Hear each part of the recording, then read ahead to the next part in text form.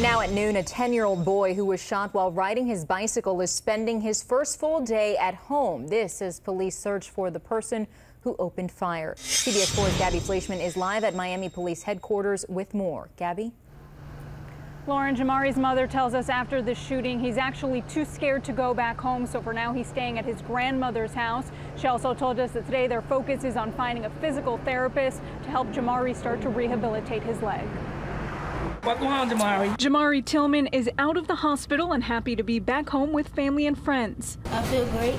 The 10 year old will spend his summer break recovering after being shot in the leg.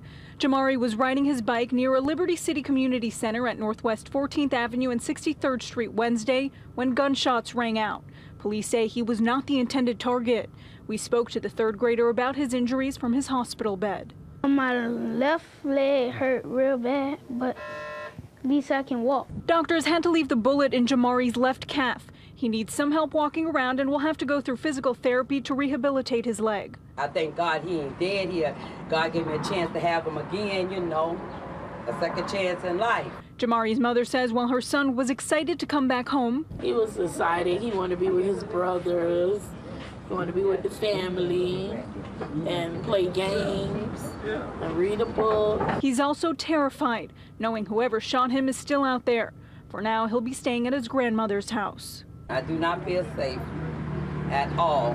Never did, but I try to give him a chance to be a child and let him go out there and play. And this was my worst fear to hear that my grandchild, you know, one of my grandkids gets shot. So Jamari on the road to recovery, but still very frightened. He and his family are asking anyone with information on who may have pulled the trigger to give Miami-Dade Crime Stoppers a call. That number is 305-471-TIPS. We're live from Miami Police Headquarters. Gabby Fleischman, CBS 4 News.